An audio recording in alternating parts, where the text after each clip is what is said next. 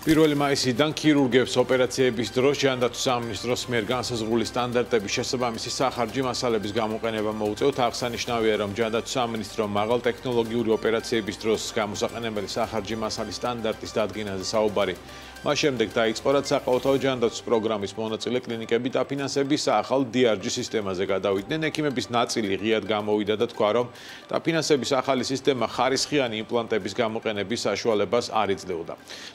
სამინისტრომ ტარიფების გაზრდის საჭიროება ვერ დაინახა და კონკრეტული სტანდარტი განუსაზღვრა ექიმებს თუ რა მასალა უნდა გამოიყენონ ოპერაციული ჩარეებისას, რას გულისხმობს რეგულაცია და როგორ ხვდება ცვლილებებს კერძო სექტორი. ელენე გოგბერაშვილი გვერდება პირდაპირ ეთერში. ელენე მოგესალმები გისმით. მოგესალმებით ბექა 29 აპრილს გამოცემული ბრძანების შესაბამისად 1 მაისიდან ქირურგებს ოპერაციების ჩატარების დროს ჯანდაცვის სამინისტროს მიერ განსაზღვრული სტანდარტების შესაბამისი სახარჯი მასალების გამოყენება მოუწევთ. ჯანდაცვის მინისტრის ბრძანება სამი სახის სახარჯ მასალაზე ვრცელდება, საუბარია კარდიოლოგიურ სტენტზე, ოფთალმოლოგიურ ბროლსა და ორთოპედიულ ენდოპროტეზზე. ცვლილებების შედეგად საყოველთაო ჯანდაცვის სახელმწიფო პროგრამის ფარგლებში სერვისის მიმწოდებელი ყველა სამედიცინო დაწესებულება შეიძლება ვალდებულია მხოლოდ საერთაშორისო სტანდარტების კერძოდ ამერიკული FDA, ევროპული MDR ან C სერტიფიკატის მქონე მასალები გამოიყენოს. საყოველთაო ჯანდაცვის პროგრამის ფარგლებში ქირურგიული ჩარევის დროს სამედიცინო მომსახურების ხარისხის კიდევ უფრო გაუმჯობესების და რეგულირების მიზნით უახლესი ცვლილება, რომელიც ძალაში ცოტა ხნის წინ შევიდა, შეეხება სამედიცინო დანიშნულების საქმებზე და სახარჯ მასალაზე ევროპული და ამერიკული სტანდარტების მოთხოვნების დაწესებას, ანუ ნებისმიერი სახარჯი მასალა, რომელიც ქირურგიული ჩარევის დროს იქნება გამოყენებული, უნდა აკმაყოფილებდეს ამერიკულ ან ევროპულ ხარისხის სტანდარტებს. ამას შეამოწმებს როგორც ჯანმრთელობის ეროვნული სააგენტო, ასევე რეგულირების სააგენტო, რათა მაქსიმალურად იქნეს დაცული პაციენტის ინტერესები. სამედიცინო მასალების მიმწოდებელი კომპანიების სტანდარტის შემოღების წინააღმდეგი არ არიან, თუმცა კერძო სექტორი ამბობს, რომ ბიზნეს რეგულაციაზე მოსარგება და გადაწყობისთვის გონივრული ვადა სჭირდება. ამასთან სამინისტროს მიერ გამოცემული ბრძანება ყველა კითხვას არსემს პასუხს, მათ შორის იმაზეც, რომ კორონალური სტენდის შემთხვევაში სამინისტროს დამატებითი მოთხოვნები აქვს, როგორი მასალისგან უნდა იყოს ის იყოს ის დამზადებული და ამასთან მწარმოებლის ნებისმიერი მოდელის სტენდი უნდა შედიოდეს ევროპის კარდიოლოგთა ასოციაციის გაიდლაინებში.ებში. განდაცვას არ ქონდა დაკონკრეტებული კონკრეტულად რომელ გაიდლაინზია საუბარი.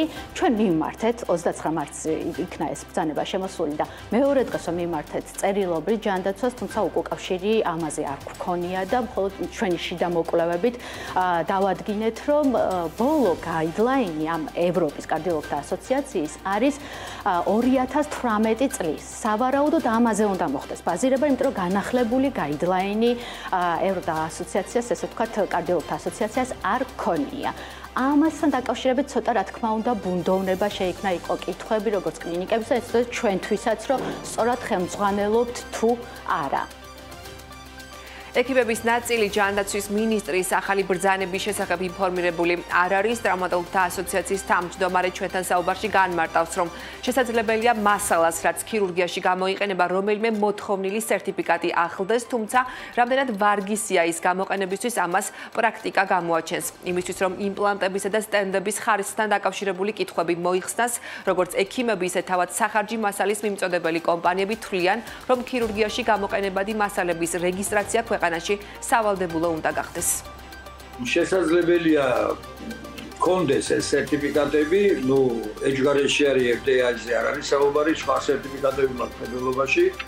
ნაწარმს კონდეს ეს სერტიფიკატი, მაგრამ არსებობდეს მონაცემები დაუშვათ ვთქვათ მისი მაკომპრომეტირებელი.